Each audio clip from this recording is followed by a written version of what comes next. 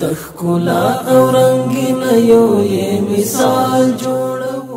پنځمه ناحیه د کابل ښار یوه ګڼمېشته او د کابل ښار ولی خورا مهمه عوایدي ناحیه بلل کیږي چې له پولې سوخته د کمپنۍ تر پله او له باغ بالا پیل تر قرغې پورې سیمې په بر کې نیسي په پنځمه ناحیه کې لږ تر لږه پنځه لکه پنځوس زره کسه اوسیږي او د جغرافیوي موقعیت له اړخه دېرش کیلومتره پراخوالی لري په عوایدو کې زیاتوالی د خوشحال خان په سیمه کې د بي او جیم برخې سړک نښلول، تقریباً درې سوه جریبه ځمکه ازادول، ښاري نظم راوستل او لسګونه نور مهم کارونه په وروستیو کې د یاده ناحیې فعالیتونه بلل کېږي.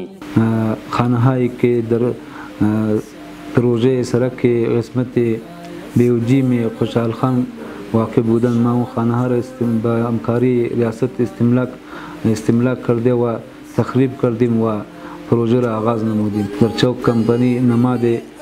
قبة الصخره را جور کردیم و همچنین زمین کودکستان که در واقع قسمت الف خوشحال خان پشت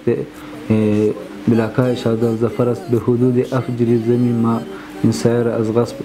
خلاص کردیم. یاده ناحیه اته څلوېښت تنه رسمي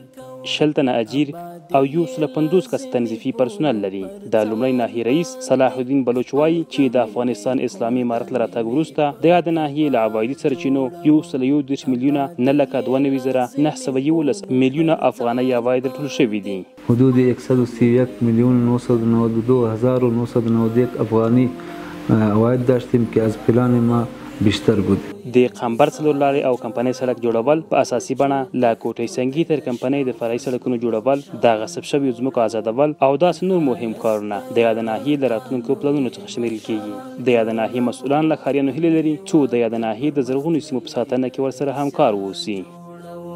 د ښایست د رڼا ګانو یې مشال جوړوو.